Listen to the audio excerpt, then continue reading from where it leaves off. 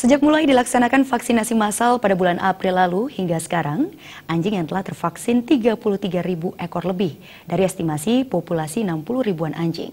Hal tersebut disampaikan Kepala Dinas Peternakan, Perikanan, dan Kelautan Kota Denpasar, Anak Agung Gede Bayu Brahmasta.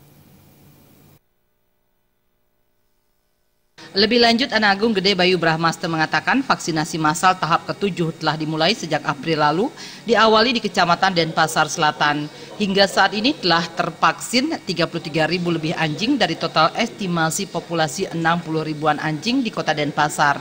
Vaksinasi massal berakhir pada bulan Juni mendatang, menargetkan memvaksin seluruh populasi anjing.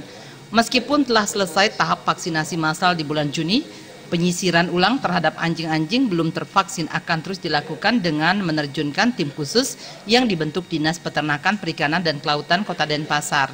Terkait ketersediaan vaksin, Anak Agung Gede Bayu Brahmasta mengatakan ketersediaan vaksin cukup bahkan melebihi dari total populasi anjing di Denpasar.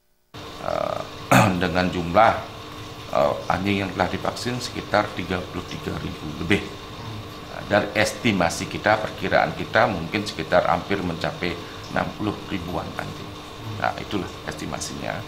Nah, kita bergerak uh, dari Denpasar Selatan sekarang sebagian Denpasar Utara sudah sampai bulan mudah-mudahan di Juni selesai. Tapi kegiatan vaksinasi ini belum selesai. Jadinya selesai itu kita akan menyisir ulang, ya, menyisir ulang daerah-daerah ini. Ya.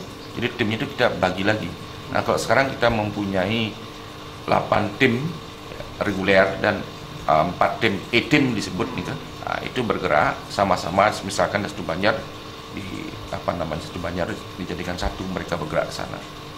Terkait kendala lapangan, Anak Agung Gede Bayu Brahmaster mengatakan masih ditemukan karena aktivitas masyarakat Kota Denpasar sangat tinggi karena ditinggal bekerja oleh pemiliknya dengan pintu rumah terkunci sehingga hewan peliharaan yang akan divaksin tidak bisa dilakukan pada saat itu. Meskipun demikian, biasanya berkat kesadaran masyarakat Denpasar yang tinggi, pemilik rumah akan menelpon untuk selanjutnya anjing peliharaan mendapatkan vaksin. Supariana dan Gung Krisna, Bali TV.